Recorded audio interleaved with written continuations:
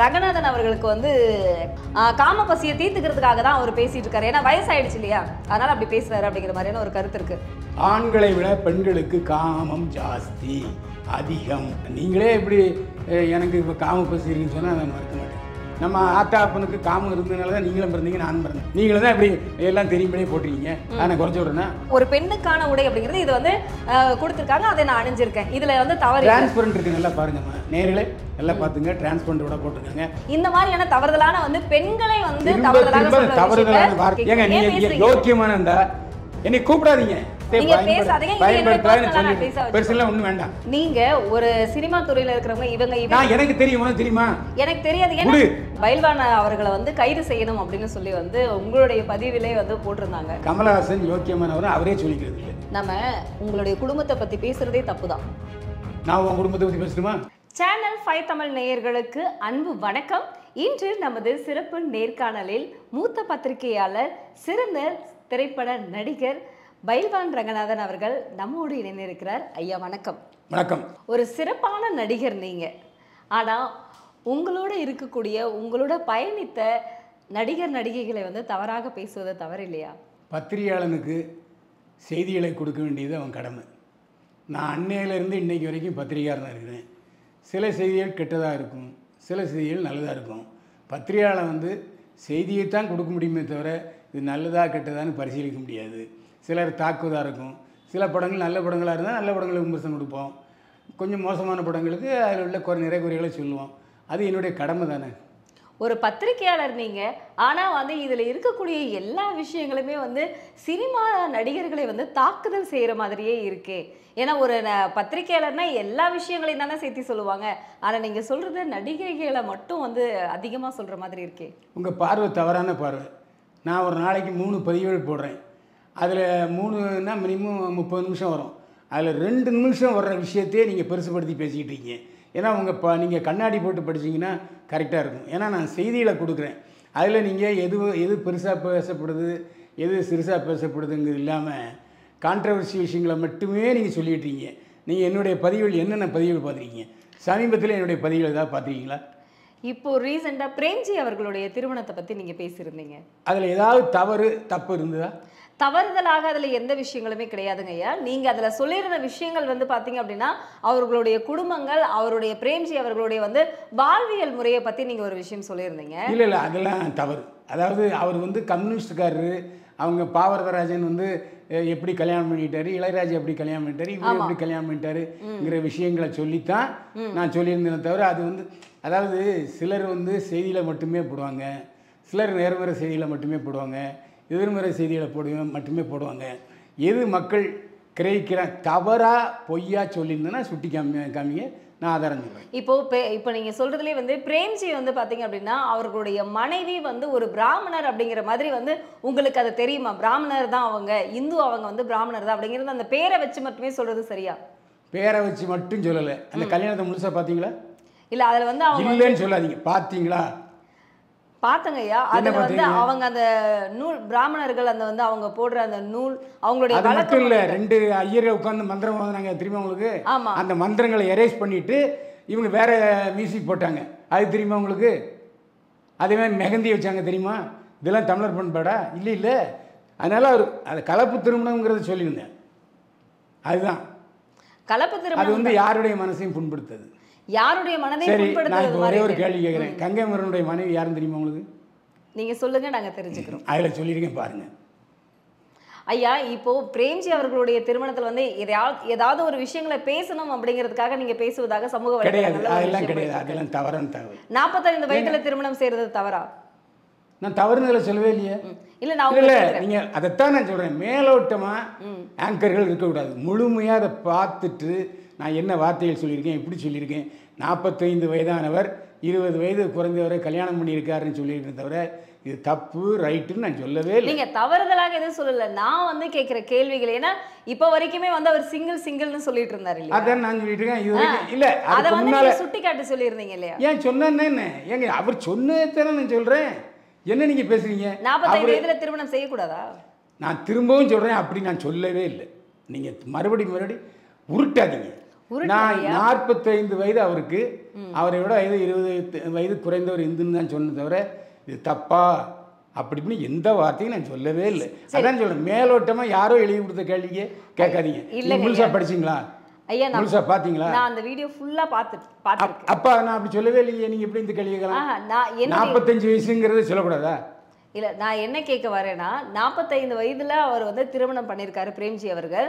அவர்களுடைய திருமணத்தை நீங்க எப்படி பாக்குறீங்க அப்படிங்கிறது தான் என்னுடைய கேள்வி. நான் எப்படி பார்த்துருக்கேன் அந்த பார்த்தது தான் சொன்னேன் நான். அதை தான் சொல்லுங்க. உங்களுடைய பார்வையில உங்களுடைய திருமணம் வாழ்த்தி இருக்கேங்க. முதல்ல நீ புரியாம பேசாதீங்க. அதில் வந்து சேனல் சார்பாகவும் சரி உங்கள் சார்பாகவும் சரி வாழ்த்துறேன்னு சொல்லியிருக்கேன் அதை கவனிச்சுங்க இல்லையா? அதை கவனிக்க மாட்டீங்களே? அதை பரட்ட மாட்டீங்களே? வாழ் எந்த சேனலாவது சொல்லியிருக்கா? வாழ்த்துக்கள்னு. நான் சொன்னேன் எனக்கு அவரை முன்ன நான் அவரோடு நெருங்கிய பழகியவன் கங்கை மரம் டைரக்ஷனில் நான் மூணு படம் நடிச்சிருக்கேன். ஆமா. அப்போது நான் வந்து உள்ளதை சொல்லுவேனே தவிர புறம் சொல்ல மாட்டேன். கடைசியில் நல்லா வாழணும். எல்லா செல்வங்களும் நிறைந்த செல்வங்களும் ப பதினாறு செல்வங்களும் பெற்று வாழணும்னா நான் வாழ்த்திருக்கேன். அதை கவனிக்க மாட்டீங்களா? கவனிச்சிங்களா இல்லையா? கவனிச்சோம் அதுதான் அதான் அது கண்டென்ட் புரியுதா உங்களுக்கு? ஆனா நீங்க எல்லாருமே வந்து சமூக வலைதளங்கள்ல உங்களுடைய ஒரு வீடியோக்குனே வந்து ரசிகர்கள் இருக்காங்க. அதுக்கு அதனால தான் இதை பேசுகிறேன் உங்களுக்கு வந்து அது நல்லாவே தெரியும். ஆனா நீங்க நீ- உங்களுக்கு வாழ்வு கொடுத்த சினிமாவுக்கே வந்து நீங்க நம்பிக்கை துரோகம் செய்யறதாகவும் உங்களுடைய ரசிகர்கள் சுட்டி காட்டியிருக்காங்க கிடையவே கிடையாது. நான் வந்து இப்போ நீங்கள் இந்த ஆஃபீஸில் இருக்கீங்க. இதில் குப்பைக்குள்ள இருந்தால் பெருக்குவீங்களா மாட்டீங்களா? எடுப்பேன் கண்டிப்பா. அதுதான். என்னுடைய அதைத்தான் நான் செஞ்சுக்கிட்டு இருக்கேன். அதாவது சினிமாக்காரங்களாம் பெரிய புண்ணியவான் இல்லைப்பா. எல்லாம் உன்- உன்னோட கீழே தான் வாழ்ந்துகிட்டு இருக்காங்க. எல்லாரும் தப்பு தப்பு தப்பு பண்ணுறாங்க சிலவங்க வந்து மோசமாகவே தப்பு பண்ணுறாங்க ஏதாவது காட்ட வேண்டிய காட்டக்கூடாதெல்லாம் காட்டுறாங்க. இது இதுதான் சொல்கிறேனே தவிர மற்றபடி இல்லாத போல நான் சொல்லவே இல்லை. நீங்க ஒரு சினிமா துறையில இருக்கிறவங்க இவங்க இப்படி திரும்ப திரும்ப அதையே சொல்லாதீங்க. இல்ல இல்ல சினிமா துறையில் இருந்துக்கிட்டு சினிமா துறையில் உள்ள அழுக்குகளை அகற்ற முயலக்கூடாது? ஐயா அது வந்து சந்தோஷமான விஷயம்தான். சினிமா துறையில இவங்க அட்ஜஸ்ட்மெண்ட்டுக்கு போகவே இல்லை அப்படின்னு ஒரு ரெண்டு நடிகைகளை சொல்லுங்களேன். சுவலட்சுமி நதியா. இது கண்டிப்பா உங்களுக்கு தெரியுமா? தெரியும் நல்லா. தெரியும் நல்லா தெரியும். நல்லா தெரியும். நல்லா தெரியும். அதனால தான் நிறைய பேர் நிறைய படங்களை அவங்க ஒப்பந்தம் பண்ணலை. காலகாலத்தில் கல்யாணம் பண்ணி செட்டில் ஆயிட்டாங்க. நிறைய படங்கள் வந்து ஒப்பந்தம் பண்றவங்க வந்து கண்டிப்பா அட்ஜஸ்ட்மெண்ட் போயிருப்பாங்க அப்படிங்கிறது அப்படி நான் சொல்லலை. ஏங்க எனக்கு தெரியுங்க. சினிமா உலகத்தில் யாருமே வந்து இந்த ரெண்டு பேரையும் குறை சொல்ல மாட்டாங்க. குறை சொல்வது வந்து மனிதனுடைய வழக்கம். அது உங்களுக்கே நல்லா தெரியும். இயல்பான ஒரு விஷயம் இல்லைங்களா? மனிதனுடைய வழக்கமே மற்றவர்களை குறை சொல்றது தான் அது வந்து யாருனாலையுமே வந்து இல்லைன்னு சொல்ல முடியாது. ஏங்க பத்திரிகைக்காரங்க வேலையே அதாங்க. குறை வந்து உங்களுக்கு வயசு என்ன? எனக்கு இருபத்தி ஏழு இருபத்தி ஏழு ஃபிலிமாலயான்னு ஒரு பத்திரிகை நடத்தின யார் தெரியுமா? தயாரிப்பாளர் பஞ்சர்நாசனம் அதுக்கு அப்புறம் தான் அவர் வந்து இப்போ கதவசனர்த்த ஆனார் தயாரிப்பாளர் ஆனார். அந்த ஃபிலிமாலயாவில் வர்ற பத்திரிகையில் வர்ற செய்திகள் எல்லாமே இப்படி தான் கான்ட்ரவர்சியாக இருக்கும் கான்ட்ரவர்சி எனக்கு முன்னோடிகள் இருக்காங்க. நான் வந்து புதுசாக வந்து உருட்டல் வேலை பண்ணுறேங்கிறலாம் அப்படி அப்படி வந்து எல்லாருடைய பேரும் வரல. ஒரு நல்ல சிறப்பான நடிகர் வந்து மற்றவர்கள் இப்படி குறை சொல்லிக்கிட்டே இருக்கிறது அவருடைய எல்லாரையும் நான் குறை சொல்லுங்க ஒரு விஷயம். இப்போ நான் போட்டுட்டு வந்த பதிவு என்னன்னா ஒரே நாளில் அறுபது லட்சம் வசூல் பண்ண ஹரா. மோ மன் இஸ் கம் பேக் இன்னும் போட்டிருக்கேன். இது பாராட்டு இல்லையா இதெல்லாம் உங்கள் கண்களுக்கு தெரியாது. ஏன்னா உங்கள் கண்களும் குறை சொல்கிற நோக்கத்திலேயே பார்த்துக்கிட்டு இருக்கீங்க. நீங்கள் நல்ல கண்களோட பாருங்கள் ஐயா நீங்க வந்து பத்திரிக்கையாளர் நீங்க கான்ட்ரவர்சியா பேசுறது தான் விஷயமே அப்படின்னு சொல்லிட்டீங்க. ஃபெமிலியாரிட்டிக்காக தான் பேசுறீங்களா நீங்க? எல்லா பத்திரிக்கையாளர்களுமே அப்படி கிடையாது இல்லையா? இல்லை என்னை விட மோசமாக பேசுனவங்களாம் இதாங்க நீங்கள் பார்க்கறது இல்லை நான் மட்டும்தான் உங்கள் கண்களுக்கு தெரியும். உங்களை பற்றி மட்டும் தானே ஐயா பேசுறாங்க? அதுக்கு நான் என்ன செய்ய முடியும்? ஓ பதினஞ்சு இருபது பேர் பேசுகிறாங்க என்னை விட மோசமாக பொய்களையே பேசிக்கிட்டு இருக்கேன் அதே தொழிலாக வச்சுக்கிட்டு இருக்கான். ஏன்னா அவனை பார்க்கறது இல்லை. ஏன்னா அவனை ரசிகர்கள் நம்புறதில்லை நான் சொல்வதில் நிச்சயமாக பொய் இருக்கும். அது கான்ட்ரவர்சி செய்தியாக இருந்தாலும் அதில் உண்மை இருக்கும் பொய் இருக்காதுன்னு நேயர்கள் விரும்புகிறாங்க அதனால் பார்க்குறாங்க. என்னை விட மோசமாக கீழ்த்தரமாக பேசுகிற யூடியூபர்ஸும் நிறைய பேர் இருக்காங்க. இப்போ நீங்க கமலஹாசனை பத்தி நீங்க பேசுறீங்க கமலஹாசனை வந்து தவறுதலா பேசின பைல்வான் அவர்களை வந்து கைது செய்யணும் அப்படின்னு சொல்லி வந்து உங்களுடைய பதிவிலே வந்து போட்டிருந்தாங்க. ஏங்க இதை பத்தி என்ன காய்ச்ச மரம் கல்லடி கொள்ளுங்க கமலஹாசன் யோக்கியமானவர் அவரே சொல்லிக்கிறது இல்லை. எத்தனையோ பேர் அவரை பற்றி ஏன் கௌதமி சொல்லும்போது அவங்களுக்கு தெரியாதா?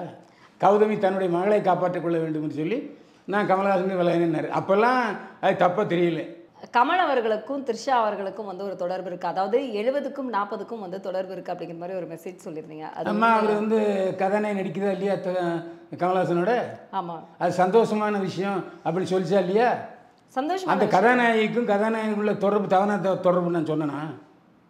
ஐயா ஏங்க நீங்க தாங்க அப்படி நினைச்சுக்கிறீங்க. நான் அப்படி சொல்லவே இல்லை. ரங்கநாதன் அவர்களுக்கு வந்து காம வியாதி பிடிச்சிக்கிச்சு. அதனால தான் வந்து இப்படி வந்து இந்த மாதிரியான வீடியோக்கள் போடுறாங்க அப்படின்னு வந்து சமூக வலைதளங்கள்ல வந்து ஒரு பேச்சு போயிட்டு இருக்கு நீங்க கவனிச்சிங்களா? நான் இந்த மாதிரி விஷயம் கவனிக்கவே மாட்டேன். ஆதாரம் சொல்லுங்க. யார்கிட்ட நான் காவம்பவர் போய் பார்த்தேன். ஏங்க நீங்க? யோக்கியமான இருந்தா என்னை கூப்பிடாதீங்க. இப்போ நீங்க ஒரு சில விஷயங்கள் சொல்றீங்க. பெண்கள் வந்து இப்போ நம்ம வந்து வீடியோக்கள் எல்லாமே நம்ம பார்க்குறோம் நீங்க நிறைய விஷயங்கள் வந்து அந்த வீடியோக்கள்ல நிறைய நல்ல விஷயங்கள் ஏன்னா எங்களுக்கு தெரியாதது. ஒரு பாடகர் வந்து இப்படியெல்லாம் கஷ்டப்பட்டு வந்தாரு அப்படிங்கிற நிறைய விஷயங்கள் நீங்க சொல்லியிருக்கீங்க. அதே அதாவது ஏழு நிமிஷத்துக்கு அப்புறம் இவ்வளவு ப்ரெஷர் கொடுத்த அப்புறம் அம்மா நல்ல விஷயங்கள்னு சொல்றீங்க சொல்றீங்க. நான் என்ன செய்ய? இல்ல நான் நான் என்ன சொல்ல வரேன்னா அந்த மாதிரி அதைத்தான் நான் ஆரம்பத்தில் சொல்லிட்டு இருக்கேன். நல்ல விஷயங்களும் இருக்கும் கெட்ட விஷயங்களும் இருக்கும். கெட்ட விஷயங்கள் பார்க்கறது நிறுத்துங்க. இல்லை அதை பற்றி பேச நிறுத்துங்க. நான் தான் பேசுனேன். அதை ஏன் கேள்வி கேட்குறீங்க இன்னும் அதை பப்ளிசிட்டி பண்ணணும். அந்த ஆசை. இன்னும் பேசு இன்னும் பேசு. பப்ளிசிட்டிக்காக வந்து ஐயா நாங்க பேச வரல. பின்ன எதுக்காக பேசுறீங்க? இப்போ நீங்க பேசி இருக்கக்கூடிய விஷயங்கள் நீங்க ஏங்க நாட்டில் எவ்வளவோ நல்ல விஷயங்கள் இருக்கு சினிமாவில் அதான் ஐயா நானும் சொல்ல வரேன். நல்ல விஷயங்கள் எவ்வளவோ இருக்கு. நல்ல விஷயங்களை தான் சொல்றேன். அந்த விஷயங்களை மட்டும் போடுங்க. சினிமா துறையை நோக்கி மட்டும் நீங்க போறீங்க ஏன் ஆண்களுக்கு சபலங்கள் கிடையாதா? அது நான் இல்லைன்னு சொல்லவே இல்லையே. ஆண்கள் சபலம் நடிகர்களுடைய சபலத்தெல்லாம் சொல்லியிருக்கேன். இப்போ கொஞ்ச நேரத்துக்கு நீங்களே சொன்னீங்க கமலஹாசன் சொல்லி. நீங்க பேசி இருந்ததை நான் சொல்ல வந்தேன். ஆண்களுக்கு சொல்ல- கிடையாதா?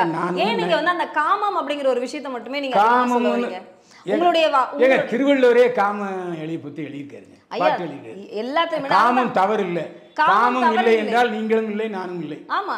நம்ம ஆத்தா அப்பனுக்கு காமம் இருந்ததுனால தான் நீங்களும் பிறந்தீங்க நானும் பிறந்தேன். கண்டிப்பா. அப்புறம் என்ன தவறா பார்க்குறீங்க நாங்க காமத்தை தவறா பாக்குறோங்க. பார்க்காதீங்க. அதையே வந்து நீங்க இப்போ ஒரு குழந்தைகளுக்கு வந்து ஒரு ஆசிரியர் வந்து சொல்லி கொடுக்கறது வந்து நல்ல விஷயங்களை சொல்லி கொடுக்கணும். அப்போ வந்து குழந்தைகளும் வந்து அந்த பதிவுகளை பார்க்கறாங்க எல்லா விஷயங்களுமே இருக்கு. அதை பெற்றோர்கள் வந்து சரியானதை பார்க்கணும்னு சொல்லி கொடுக்குறாங்க. இப்போ நீங்களும் வந்து தெரியாத ஒரு விஷயத்த சொல்ல வரீங்க அப்படின்னு தெரியாதவர்கள் தெரிஞ்சு கொள்றதுக்காக வராங்க. அப்போ அதுல நல்ல விஷயங்கள் இருக்கணும் இல்ல அதுல அந்த காமம் அப்படிங்கிற ஒரு விஷயத்துக்கு வந்து ஒரு முக்கியமான ஒரு இடத்தை கொடுத்து நீங்க பேசியிருக்கீங்க. அதனால தான் கேட்குறேன் ஆண்களுக்கு வந்து காமங்கள் கிடையாதா? இது வந்து சாதாரணமான ஒரு விஷயம். அப்படின்னா சாதாரணம் அப்படிங்கிறத விட எல்லாருக்கும் வந்து பொதுவான ஒரு விஷயத்தை ஏன் வந்து பொதுப்படையில் வந்து கொண்டு வரீங்கன்னு கேட்குறேன் நான். என்னோட கேள்வி அதுதான். உன் கேள்விக்கு பதில் என்ன தெரியுமா? ஆண்களை விட பெண்களுக்கு காமம் ஜாஸ்தி அதிகம். இது உடல்கூறு ரீதியாக ஏற்றுக்கொள்ளப்பட்டிருக்கிறது. அது உங்களுக்கு தெரியுமா? இருக்கு. அறிவியல் ரீதியா அது இருக்கு. அதனால தான் அதை அதை ஏன் நீங்க சுட்டி காட்டணும்னு கேட்குறேன் அது எல்லாருக்குமே நான் புரியாமல் பேசுங்க அதாவது நீங்களே கொஞ்ச நேரத்துக்கு முன்னாடி சொன்னீங்க. நான் நடிகர்களை பற்றியும் சொல்லியிருக்கேன். தவறான நடிகர்களை பற்றி தவறான நடிகர்களை பற்றியும் சொல்லியிருக்கேன்.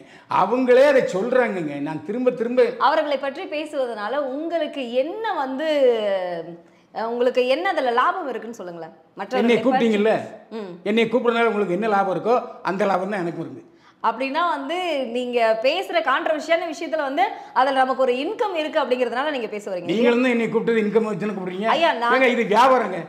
சும்மா என்னமோ சர்வ சர்வீஸ் பண்ண வந்த மாதிரிலாம் பேசாதீங்க. இந்த இந்த வீட்டுக்கு வாடகை இந்த கேமராவுக்கு வாடகை அவருக்கு சம்பளம் உங்களுக்கு சம்பளம் எப்படி கொடுப்பாரு ஓனரு? வியாபாரம் தானே இது? எது வியாபாரம் அது வந்து நம்ம பயன்படுத்திக்கிட்டு இருக்கோம். ஆயிரத்தெட்டு யூடியூபர் இருக்கான் என்னை மட்டும் ஏன் கேட்குறீங்க எங்கிட்ட மட்டும் இந்த விஷயங்களை பற்றி மட்டுமே திருப்பி திருப்பி ஐயா மற்றவர்கள் வந்து இந்த மாதிரி எந்த விஷயங்களும் வந்து பேசல. அட மற்றவர்களுக்கு திரும்ப திரும்ப சொல்றேன் ஏங்க முந்நூறு பேர் பேசிட்டு இருக்காங்க. என்னோட மோசமா? ஏங்க உயிரை வாங்கி தொலைனி சார் ஒரே வர பத்திரிகைக்காரனோட வேலை? மற்றவர்கள் விஷயத்தை ஏங்க ஒரு அறிக்கை? வெளியிடுறாரு ஒருத்தர். ஒரு ஒரு ஒருத்தர் அறிக்கை வெளியிடுறாரு. அதை நான் வெளியிடுறது என்னுடைய வேலையா இல்லையா? பத்திரிகை பத்திரிகை மூலமாக தானே தெரிஞ்சுக்கிறீங்க? பத்திரிகை மூலமா தாங்க ஐயா தெரிஞ்சுக்கிறோம். அதை அவங்க வெளியிட்டாங்க. அதை நாங்க பேப்பர் படிக்கும் போது நாங்க தெரிஞ்சுக்கிறோம். ஆனா நீங்க என்னுடைய ப- தனிப்பட்ட விஷயத்தை நீங்க பேசுறது தவறு இல்லையா மற்றவர்கள் தனிப்பட்ட விஷயம் நீங்கம்மா ரோட்டுக்குன்னு சொல்ற? உன் தனிப்பட்ட விஷயத்தை பேசாம உட்காந்துருக்க வேண்டியதானே மற்றவர்களை பற்றி தவறுதலாக பேசுறதுக்கு அதாவது உங்களை பத்தி பேசுறதுக்கு நல்லதோ கெட்டதோ பேசுறதுக்கு எனக்கு நான் தவறா பேசல தவறா பேசலன்னு சொல்லிட்டு மறுபடியும் மறுபடியும் அதே நல்லதையும் சரி கெட்டதையும் சரி. மற்றவர்களுடைய விஷயத்தை வந்து தவறுதலா பேசுறது பத்திரிகைக்காரன் மற்றவங்களை பற்றி பேசுவான். மற்றவங்களுடைய செய்திகளை போடுறது அவன் கடமை. ஃபினிஷ் நெக்ஸ்ட் சரி நானும் ஒரு பத்திரிகையாளரா கேக்குறேன். இப்போ உங்களுடைய குடும்பத்துல வந்து உங்களுடைய பேர் உங்களுடைய பொண்ணுக்கு வந்து இப்ப கல்யாணம் ஆக போகுது இல்லையா? ஆமாம் நீங்க சொல்லியிருந்தீங்க இப்போ வந்து அவங்களும் ஐடில இருக்காங்க. பெண்ணும் ஐடியில் இருக்காங்க. சிவா அவர்கள் அதாவது உங்களுடைய மருமகன் வரப்போகிற மருமகன் அவர்களும் ஐடியில் இருக்காங்க அப்படின்னு சொல்லி சொன்னாங்க. சொன்னீங்க. அது ரொம்ப நல்ல விஷயம். பைல்வான் ஐயா அவர்களுடைய பொண்ணுக்கு கல்யாணம் ஆகினா ஆனால் ஒரு பத்திரிகை என்ன என்னை போலவே ஒரு நெறியாளர் வந்து உங்களுடைய உங்ககிட்ட கேள்வி கேட்கும் பொழுது நீங்க வந்து அவ்வளவு கோவப்பட்டீங்க இல்லையா? ஏன்னா ஒருத்தங்க நம்மளுடைய குடும்பத்தில் இருக்கிற ஒரு பெண்ணை தவறுதலா பேசும்பொழுது உங்களுக்கு கோவம் வருது இல்லையா? ஒரு விஷயம் அது உண்மையாக இருந்துச்சுன்னா பிரச்சனை இல்லை. தவறுதலாக பேசும்போது கோவம் நான் தவறுதலாக பேசலை. புரியுதா? என்னை இப்போ உங்க பொண்ணை பத்தி வந்து தவறான பதிலே பேசி முடிக்கலாமா? நீயே சொல்லுங்க. நீங்கள் இன்டர்வியூவில் நீயே தான் பேசிக்கிட்டு இருக்க. நான் பேசுகிற கொஞ்சம் தான். சரி பேசுங்க. அதாவது உண்மையை பேசுனா தப்பு இல்லை. தவறுதலாக பேசுனா தப்பு. நம்ம உங்களுடைய குடும்பத்தை பத்தி பேசுறதே தப்பு தான் நான் உன் குடும்பத்தை பற்றி பேசணுமா? அதுதான் தப்பு தான் சொல்றேனே. நான் அப்புறம் விட்டுரு. நெக்ஸ்ட் அப்ப நீங்க மத்த குடும்பத்தை பத்தி பேசுறது தப்பு தானே ஏங்க திரும்ப திரும்ப சொல்கிறேன் உண்மைகளை பேசு ஏன் உண்மையை ஒத்துக்க மறுக்கிறீங்கன்னு கேக்குறேன் நான். நான் உண்மையை நான் உண் அதாவது உண்மையை பேசுங்க. மற்றவர்கள் குடும்பத்தை பற்றி பேசுவது தவறா சரியா? இல்ல. மட்டும் பதில் சொல்லுங்க. தவறு சல்ல அதாவது மற்றவங்க செய்கிற தவறுகளை சுட்டி காட்டுறது சரிதான். அவங்க அதை சரி செஞ்சுக்கிறாங்களா? அதை பற்றி எனக்கு என்ன கவலை? செய்தியை சொல்ல வேண்டிய என் கவலை. அவனை போய் திருத்துறதா என் கவலை? என்னுடைய வேலை? ஐயா நல்ல விஷயங்களை போட்டா கண்டிப்பா நீங்க ஒரு அவங்களே அவங்கள பற்றிய கெட்ட விஷயங்களை சொல்கிறாங்க எவ்வளவோ வழிகள் இருக்கு எவ்வளவோ பாதைகள் இருக்கு. அவங்ககிட்ட சொல்லுங்க. எங்கிட்ட சொல்லிட்டீங்க? ஐயா, பேசு- நான் தான் அவங்கள. கூப்பிட்டு ஏன் இப்படி மோசமா ட்ரெஸ் போடுற? ஏன் இப்படி மோசமா வந்து பேசுற? இப்போ இப்போ வந்து சரியான ஒரு விஷயம். நீங்க திரைப்படத்துல இருக்க திரைப்பட நடிகரா இருக்கக்கூடிய நீங்க உங்களுக்கு கூட இருக்கக்கூடிய அழுக்குகளை உங்களை சுத்தி இருக்கக்கூடிய அழுக்குகளை சுத்தம் செய்யறேன்னு நீங்க முதல்ல சொன்னீங்க இல்லையா? அந்த மாதிரி உங்களை போல இருக்கக்கூடிய நடிகர்கிட்ட உங்களை பா மாதிரி தவறான ஒரு கருத்துக்கள் வருது. இதெல்லாம் சரி செஞ்சுக்கோங்க. நீங்க வந்து தனிப்பட்ட முறையில் அதாவது ஒரு வில்விஷரா இல்ல ஒரு அது என் நண்பரா வேலை இல்லை. சொல்லலாம். நான் என் பத்திரிகையில் செய்திகளை போடுறது தான் என் வேலையை தவிர ஒவ்வொருத்தரையாக போயிட்டு அஹ், அறிவுரை சொல்றது என் வேலை இல்லை. அறிவுரை சொல்றது வேலை இல்லை. அப்படின்னா நம்ம வந்து மற்றவங்களை பத்தி இப்போ தவறுதலா பே ஒரு பத்திரிக்கையாளரா நீங்க பேசுறீங்க. ஆனா இவ்வளவு கான்ட்ரவர்சியா பேசுறது தவறுன்னு உங்களுக்கு தெரியலையா? ஏங்க கான்ட்ரவர்சி என்பது உண்மையாக இருக்கலாம்ல? உண்மையிலேயும் கான்ட்ரவர்சி இருக்கலாம். ஆனா மக்கள் இப்போ உங்களுடைய கருத்துக்களை எல்லாத்தையும் வந்து அப்படியே இப்படி தொடச்சி விட்டுட்டு போற மாதிரியான ஒரு செய்தி பரவாயில்ல. இது என்ன நான் திருக்குறள் எழுதியிருக்கேன்? இல்லை திருவாசகம் எழுதியிருக்கேன்? நான் மனப்படம் பண்ணுறதுக்கு இது ஒரு பா என்டர்டெயின்மெண்ட்டு சினிமாவை பார்த்துட்டு மறந்து அடுத்த படத்து போயிட்டே இருப்பான். அது மாதிரி தான் இப்போ என்னைய வந்து நீங்கள் பேட்டி எடுக்கிறது ஒரு பொழுதுபோக்கு தான். ஒரு பொழுதுபோக்குக்காக நீங்களும் வந்து பேசுறீங்க ஒரு நாங்க பொழுதுபோக்காக. நீங்களும் வந்து என்னை இன்டர்வியூ எடுக்கிறீங்க? பைல்வான் அவர்கள் வந்து அவர் வந்து எப்பவுமே வந்து செக்ஷுவலான விஷயங்களே வந்து பேசுறாரு. சரிங்களா? அப்படின்னா உங்களுடைய கா காம பசியை தீர்த்துக்கிறதுக்காக தான் அவர் பேசிட்டு இருக்காரு. ஏன்னா வயசாயிடுச்சு இல்லையா? அதனால அப்படி பேசுறாரு அப்படிங்கிற மாதிரியான ஒரு கருத்து இருக்கு. இதை நீங்க எப்படி பாக்குறீங்க? ஏத்துக்கிறீங்களா இதை? இல்லை நீங்களே இப்படி எனக்கு இப்போ காம பசி இருக்குன்னு சொன்னால் நான் மறுக்க மாட்டேன். மறுக்க மாட்டீங்க அது உண்மை. அதுக்காக தான் நீங்க இப்படி பேசுறீங்களா? நடப்பணத்துக்கு மட்டும்தாங்க காம பசி இருக்காது. அந்த காம விஷயம் இருக்காது. நடப்பணத்துக்கு மட்டும்தான். அவன் இளமையா இருப்பதற்கான ஒரு விஷயமே அதுதான். ஆமாம் அது பேசினா என்ன அதான் உங்களுக்கு வயதானதுனால உங்களுடைய பசியை காம பசியை இல்ல இல்ல. இப்ப சொல்லிட்டு இல்லைன்னு ப- அதுதான் காரணம் நான் சொல்லல. திரும்ப திரும்ப நீங்க புத்திசாலித்தனமா மடக்கிற மாதிரி நினைக்காதீங்க. நீங்களும் தான் இப்படி எல்லாம் தெரியும்படியே போட்டிருக்கீங்க. நான் குறைச்சி விட்றேன்னா பார்த்துக்கு பார்க்குறேன்னு தெரிஞ்சுப்பாங்க. நான் எப்படி கரெக்டாக போட்டிருக்கேன் ம். ஒரு ஆணுக்கு உடை அப்படிங்கிறது அந்த மாதிரி தான் கொடுத்துருக்காங்க. ஒரு பெண்ணுக்கான உடை அப்படிங்கிறது இது வந்து கொடுத்திருக்காங்க. அதை நான் அணிஞ்சிருக்கேன். இதுல வந்து தவறு. டிரான்ஸ்பரண்ட் இருக்கு. நல்லா பாருங்கம்மா நேர்களே நல்லா பார்த்துங்க. டிரான்ஸ்பரண்ட் விட போட்டிருக்காங்க. நான் குறை சொல்லலை. இப்போ அதை நான் ரசிக்கிறேன். ஐயா நீங்க குறை சொன்னாலும் நான் வந்து கண்டிப்பா வந்து உங்களுடைய நீங்க சொல்லக்கூடிய விஷயங்கள் சரியானதா இருந்ததுன்னா நான் அது- வந்து கண்டிப்பா நான் ஏத்துக்கிறேன். ஒன்றும் ஏற்றுக்க வேண்டாம். ம். ஆமாம் ஏற்றுக்கணும்னு அவர் பொறுத்தவே மாட்டேன். அதான் தவறுதலா இருந்தா அதை நான் ஏத்துக்கிறேன். ஆனா நீங்கள் ஏற்கனவே உங்கள் பேட்டியில் நீங்களே சொன்ன பதிலில் திருப்பி பாருங்கள் அப்போ உங்களுக்கு தெரியும். கஸ்தூரி அவர்கள் அவங்களும் வந்து பிஜேபியில இருந்தாங்க. அதே மாதிரி இப்போ வந்து அவங்கள எப்படி கேவலம் பேசுகிறாங்க எப்படி உங்களை மாதிரி வறுத்து எடுக்கிறாங்க? அதை பார்த்தீங்களா இல்லையா? இல்ல அதெல்லாம் பார்த்தேன். இப்போ நான் அப்புறம் என்ன- இப்போ கங்கனா ரணாவத் வந்து எம்பி ஆயிருக்காங்க இல்லைங்களா? இந்த மாதிரி வந்து பிஜேபியோட வந்து அவங்க ரொம்ப சம்மந்தப்பட்ட கஸ்தூரி அவர்கள் பேசிட்டே இருந்தாங்க. ஆனா வந்து அவங்களுக்கு வந்து அடுத்த கட்டத்துக்கான போறதுக்கான வழிகள் இருக்கா அப்படிங்கிறது வந்து தெரியல. ஆனா கங்கனா ரணாவத் அடுத்தடுத்து போய் இப்போ எம்பி ஆயிட்டாங்க இல்லையா? ஒரு நடிகரா நீங்க அவங்களை எப்படி பாக்குறீங்க நான் தெரிஞ்சு இல்லை கங்கனா ராவத் ஜெயிச்சதுக்கு பாராட்டு. ஏன்னா அந்த அம்மாவுக்கு நிறைய ஆரம்பத்தில் எதிர்ப்புகள் இருந்தது. அது நிறைய தன்னுடைய கருத்துக்களை சரியான கருத்துக்களை சொல்லிட்டே இருந்தது. ஆனால் அந் கங்கனா ராவத் சொன்ன கருத்துக்கள் வந்து சமூக பிரச்சனைகளாக இருந்துச்சு. நீங்கள் சொல்கிற நடிகை வந்து அது அரசியல் பிரச்சனைகளாக இருந்துச்சு சீப்பாக போயிடுச்சு. அந்த சமூக விஷயங்களை நிறைய சா ச- கங்கனா ராவத் சொல்லியிருக்காங்க. நீங்கள் போய் க கங்கனாவத்துடைய போராட்டங்கள் இதெல்லாம் பார்த்தீங்கன்னா தெரியும். அதனால தான் அவங்க சொந்த தொழிலை அவங்க ஜெயிச்சிருக்காங்க. இப்போ வந்து நீங்க இந்த மாதிரியான விஷயங்கள் எல்லாம் பேசுறதுனால பேசாம பிஜேபியில போய் வந்து பயில்வான் அவர்கள் சேர்ந்துட்டா வந்து கரெக்டா அவர் பேசக்கூடிய செக்ஷுவல் விஷயத்துக்கும் அதுக்கும் வந்து சரியா இருக்கும் அப்படின்னு ஒரு கருத்து வந்து நான் அவருடைய வீடியோக்கள் எல்லாத்தையுமே பார்த்திருக்கேன் ஆனா வந்து எனக்கு இப்போ அவரோட வீடியோ பிடிக்கல அப்படின்னு வந்து ஒரு ரசிகர் வந்து கமெண்ட் பண்ணியிருக்காரு ஏங்க ஆயிரத்தில் ஒருத்தன் அப்படி பேசுவான் அதெல்லாம் கம்மி சொல்லிட்டு இருக்காங்க. உங்களுக்கு அந்த உங்க கருத்து? சரியா இருக்குமா யாரு நான் பிஜேபியில் சேர்றதா அப்படி நான். சரியா இருக்குன்னு. ஏங்க தவறு செய்தா இது தவறுன்னு சொல்லுவேன். நியாயம்னா இது நியாயம்னு சொல்லுவேன். அதே மாதிரி இது சமீபத்தில் உள்ள ஊடகவியலாளர்கள் எல்லாருமே என்ன சொன்னாங்க? நானூறுக்கு மேலே நானூறுக்கு மேலேன்னு. என்னுடைய பதிவை பாருங்கள் நானூறுக்கு மேலே வராதுங்க. நிச்சயமாக பிரதமர் ஆட்சி பிடி மோடி ஆட்சி பிடிப்பார் அதில் சந்தேகமே இல்லை. திமுக வெற்றியை எந்த சூழ்நிலையும் பிரதமருடைய வருகை பாதிக்காது. அதேமாதிரி அவர் வந்து விவேகானந்தர் பறவையில் தியானம் இருந்தாலும் சரி இன்னும் தியானம் செஞ்சும் சரி அதெல்லாம் அரசியலில் ஆகாது. ம்.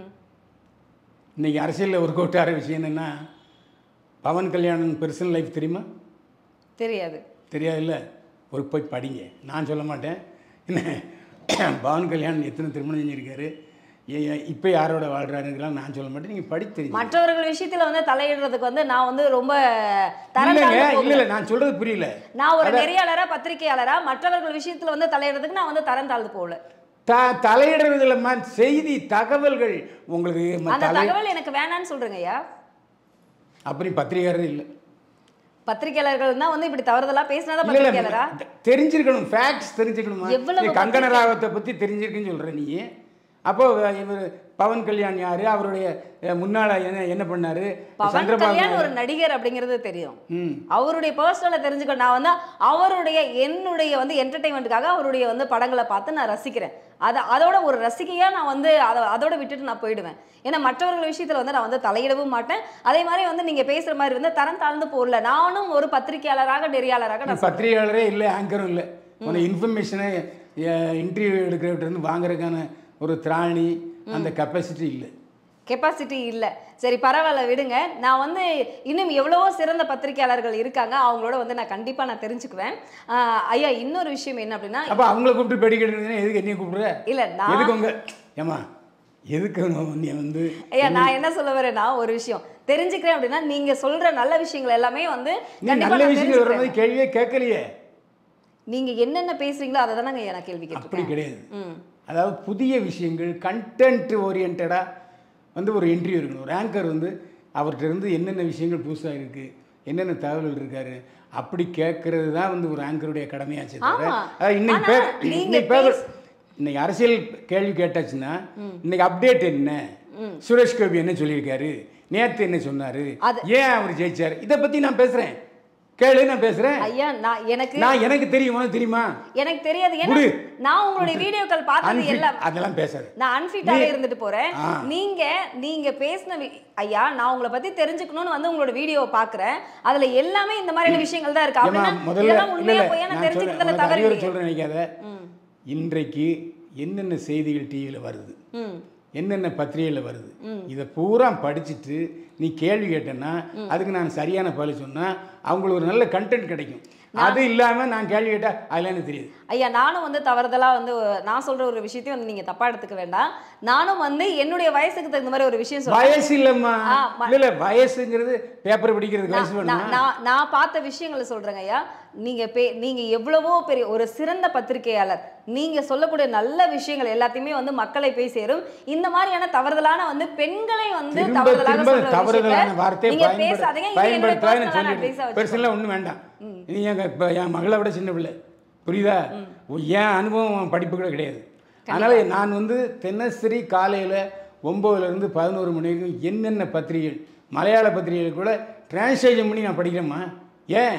இன்ஃபர்மேஷன் சொல்லணும் அது ஆதாரத்தோட சொல்லணும்னு சொல்லி. சொன்னேன்ல இப்போ? சுரேஷ் கோபி தேர்தல் போது என்ன சொன்னார்? அவர் எப்படி ஜெயிச்சாரு? அவர் நேற்று ஏன் அந்த நான் மாட்டேன்னாரு? இப்போ ஏன் ஒத்துக்கிட்டாரு? இது பூரா நான் பேசட்டுமா? பத்து நிமிஷம்? சரி இன்னைக்கு சினிமா கேள்விக்கு அரசியலை நான் சினிமாக்காரன் மட்டுமல்ல செய்தியாளன். செய்தியாளர் எனக்கு ஒரு சினிமாவை பத்தி இன்னைக்கு என்ன அப்டேட்டுங்கிறத மட்டும் கொஞ்சம் சொல்லுங்க? இன்னைக்கு சினிமாவுல என்ன அப்டேட்டுங்கிறத சொல்லுங்க. இன்னைக்கு வந்து அவர் விஜய் வந்து தன்னுடைய அரசியல் கட்சி தொண்டர்களுக்கு அறிக்கை விட்டுருக்காரு. பத்தொன்பதாம் தேதி கு- அந்த கூட்டம் நடக்க இருக்குது. அதில் என்ன சொல்ல போறாரு? அதே மாதிரி இன்னைக்கு இன்னைக்கு சினிமா லெவலில் இன்னைக்கு கன்ஃபார்ம் ஆயிடுச்சுங்களா கூட்டம் எங்க நடக்குங்கிற ஆமாம் ஆமாம் அது அவர் இடத்துல எப்போவும் நடக்கும். வெளியே நடக்கல. மாநாட்டுக்கான இதான் பேசுகிறாங்க அப்போ அந்த மாநாட்டுக்கான விஷயத்தில் அவங்க என்ன பேச போகிறாங்கன்னா இப்போ டிசம்பரில் வந்து உள்ளாட்சி தேர்தல் நடக்க போகிற செய்தி இது உனக்கு தெரியுமா? ம் ஆமா தெரியும். என்ன தெரியும்? எதுக்காக தெரியும்? சொல்லுவாங்க டிசம்பரில் ஏன் உள்ளாட்சி தேர்தல் கேட்டையெல்லாம் உள்ளாட்சி தேர்தல் டிசம்பரில் அதெல்லாம் தான் சொல்லுமா. அவ தெரிலன்னு சொல்லு. சரி தெரியல. இங்கே தான் நீ புரிஞ்சுக்கணும். எடப்பாடி வந்து முப்பத்தி ஆறு மாவட்டத்தில் இருபத்தொம்போது மாவட்டத்துக்கு மட்டும்தான் உள்ளாட்சி தேர்தல் நடத்தினார். சரி. அப்போ அவர் ஆட்சியில் இருக்கும்போது அப்புறம் இவர் முதலமைச்சர் மு க ஸ்டாலின் அவர்கள் வந்தாங்க திமுக அரசு பொறுப்பேற்றது. இப்போ வர டிசம்பரில் எடப்பாடி ஆட்சியில் நடந்த எல்லா உள்ளாட்சி தேர்தல்களுக்கும் பதவிக்காலம் முடியுது. அப்போ முதல்வர் மு க ஸ்டாலின் திமுக சார்பில் என்ன முடிவு எடுத்திருக்காருன்னா எதுக்கு நாம் வந்து இருபத்தி ஆறுக்கு அப்புறம் நடத்தணும்? இப்போவே நடத்திக்கலாம் அப்படின்னு சொல்லி எல்லா உள்ளாட்சிகளையும் தேர்தல் கலைச்சிட்டு தேர்தல் நடத்த போகிறாரு அந்த தேர்தலில் தமிழ்நாடு வெற்றி கழகம் போட்டியிடணும்னு நீ முடிவு பண்ணிட்டு போகிறாங்க இதுதான் செய்தி. இதுவும் நான் சொல்லிக்கிட்டு இருக்கேன். இதெல்லாம் உங்கள் கண்ணில் இதெல்லாம் தெரியவும் செய்யாது. நீ ஏன் தவறாக பேசுகிற ஏன் தவறாக பேசுகிற நான் பேசலைன்னு சொல்லிக்கிட்டு இருக்கேன். இப்போ தெரியுதா செய்தி எவ்வளோன்ட்டு அதாவது வருகிற உள்ளாட்சி தேர்தலில் விஜய் போட்டியிடுவாரா? யார் வந்து சேர்ந்து போட்டியிடுவார்? இதான் இன்னைக்கு கரண்ட் நியூஸு அரசியலில் அதே மாதிரி இன்னைக்கு வந்து கல்கி படம் வந்து இன்னும் தமிழ்நாட்டில் டிஸ்ட்ரிபியூஷன் ஆகலை. தமிழ்நாட்டில் கல்கி டிஸ்ட்ரிபியூஷன் ஆகாத காரணம் என்னென்னா இப்போ ரெட் ஜெயின் மூவிஸ் தான் எல்லா பெரிய படையும் வாங்குறாங்க. ரெட் ஜெயின் மூவிஸ் எப்படி வாங்குவாங்கன்னா நீங்கள் கொண்டு படத்தை கொடுத்துடணும். படத்தை ஓட்டி அவங்க கமிஷன் போக உங்களுக்கு கொடுப்பாங்க. ஆனால் கல்கி தயாரிப்பாளர் என்ன சொல்கிறாருன்னா எனக்கு முதல்ல பணம் வந்துடணும் அப்போ தான் நான் படம் கொடுப்பேன்னு சொன்னனால தமிழ்நாட்டு டிஸ்ட்ரிபியூஷன் யாரும் வாங்கலை. இதனால தான் அவர் போராடிக்கிட்டு இருக்காரு கமல்ஹாசன். ஏன்னா அந்த படத்தில் உள்ள நடிச்சிருக்காரு நூற்றி கோடி ரூபா சம்பளம் வாங்கியிருக்காரு. அப்போ எப்படியாவது ரெட் ஜெயின் மூவிஸு ஸ்டாலினை வந்து நீங்கள் வாங்க அப்படிங்கிற எவ்வளவு கோடி சம்பளம் கமலுக்கு? நூற்றம்பது நூத்தி ஐம்பது கோடி. ஆமாம் ஏன்னா வில்லனை முதல்ல ஆக்ட் பண்ணுறாரு வேற ஒரு தோற்றம் அது. கமலஹாசன் தோற்றம் பார்க்கலையா? ஆ. இதெல்லாம் பார்க்கணுமா? ஒரு கேங்கராக இருக்கிறவங்க புத்திசாலித்தனமாக கேள்வி கேட்கணும்னா இந்த மாதிரி அவர் புதுசாக இந்தியன் தாத்தா மாதிரியே ஒரு வேற ஒரு தோற்றத்தில் அவர் வராரு. அது ஒரு ரெண்டு செகண்ட் தான் காமிச்சாங்க. அப்போ அது ஒரு டென்ஷனை ஏற்றிருக்கு அப்போ கல்கி படம் வந்து ரெட் ஜெயின் மூவிஸ் வாங்கினா அது நமக்கு நம்ம தயாரிப்பாளருக்கு லாபமாக இருக்குன்னு சொல்லிட்டு விக்ரம் எப்போ ரிலீஸ் ஆகி நல்லாச்சு அதுக்கு நாலு இடம் போய் வந்து கமலஹாசன் வந்து உதயநிதி அவர்களை பார்த்து பொக்கை கொடுத்தாரு. அப்பயே முடிஞ்சு போச்சு. அப்போவே நாலு பத்திரிகாரன்ட்டே சொல்லிட்டாரு. உதயநிதி ஸ்டாலினுடைய ரெட்ஜைன் மூவிஸ் தான் நியாயமான நிறுவனம். கரெக்டாக எனக்கு பேமெண்ட் கொடுத்து என்னை இவ்வளோ தூரம் லாபம் அடைய வச்சது அவருடைய ரெட்ஜைன் மூவிஸ் தான். ஸோ அந்த ரெட்ஜைன் மூவிஸ் இல்லைன்னா நான் இல்லைன்னு சொல்லி கல்கி படத்தை வாங்குன்னு மறைமுகமாக சொல்கிறாரு ஆனால் அவர் ரெட்ஜைன் மூவிஸை விட்டுட்டு அவர் அரசியலை பார்க்க போயிட்டார். இது இந்த மாதிரியான விஷயங்கள். இதுதான் வந்து நான் பெரும்பான்மையான விஷயங்கள் பேசுனது. அதே மாதிரி இப்போவும் சமீபத்தில் அதிகமாக போயிட்டுருக்கிறது இன்னைக்கு கூட ஒரு லட்சம் தாண்டிட்டு. நான் பிரேம்ஜியை பற்றி பேசுனது. பேசுனது. அதனால் அது ஏன் ரசிகர்களுக்கு பார்க்கணுன்னா இந்த ஆள் ஏதாவது தப்பு சொல்லணும். அதாவது நான் உண்மையை சொன்னால் அது உங்களுக்கு தப்பான விஷயமா படுது. அதுதான் உண்மையை தவிர நான் வந்து உண்மையை தான் பேசுகிறேன் உண்மை சிலருக்கு பிடிக்காமல் இருக்கலாம் கசக்கும். அதை போய் நாம் எப்படி சொல்ல முடியும்? இதெல்லாம் ஒரு ஜோவியலாக எடுத்துக்கிடுவார் நம்ம பிரேம்ஜி. அது அவ அதிலே சொல்லியிருக்கேன் காதலுக்கு கண்ணில்லை காதலுக்கு அறிவில்லைன்னு சொல்லுவாங்க. காதலுக்கு வயசும் இல்லை. நிச்சயமாக நாற்பத்தஞ்சு வயசு அது வந்து பிரேம்ஜி அவர்கள் வந்து காதலுக்கு வயசு இல்லை அப்படிங்கிறதையும் அவர் காட்டிட்டாரு இல்லைங்களா? நானும் அதை சொல்லியிருக்கேன். அந்த மாதிரி தானே தவிர மற்றபடி என்னுடைய அதாவது நான் இல்ல நீங்க அந்த விஷயத்துல எந்த ஒரு தவறான ஒரு விஷயமும் நீங்க சொல்லல. அதையே நானே சொல்றேன். அதை பார்த்தேன் நான் அதனால சொல்றேன். அதனால சொல்கிறேன் இப்போ அப்படித்தான் நான் பேசிகிட்டு இருக்கேனே தவிர எப்போ மூணு வருஷத்துக்கு முன்னால் ஒரு யூடியூப் சேனலில் பிக்கப் ஆகணும் இன்றைக்கி அது நம்பர் ஒன்றா இருக்குது அதுக்காக அப்பவும் வந்து திறந்தாழ்ந்து நான் பேசினதே இல்லை. ஒரு விஷயத்தை புரிஞ்சு நான் திரும்ப திரும்ப சொல்கிறேன்னா நான் ஆபாசமாகவோ பொய்யாகவோ அவதூறாகவோ பேசினா யூடியூப்ல ரிப்போர்ட் போய் பிளாக் பண்ணிடுவாங்க. உங்களுடைய சிறப்பான நேரங்களை எங்களோட செலவிட்டதுக்காக ரொம்ப நன்றி. வாழ்க வளர்ந்து